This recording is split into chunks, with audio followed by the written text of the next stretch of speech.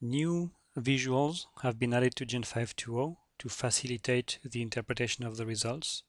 What you can see here is a new color gradient that is applied to the raw data to facilitate uh, the interpretation of the results. Light blue being low, uh, low results, and uh, dark blue being high results. This is all controlled through the edit matrix link that you can see right here. If I click on this link, I have access to this new set of functionality called color effect that I can adjust as I like. Here we're applying what is called a blue scale, but you have several options and you can customize this if you wish. And you can also apply what is called a heat map that allows to have a very high contrast between low wells in blue and high wells in red.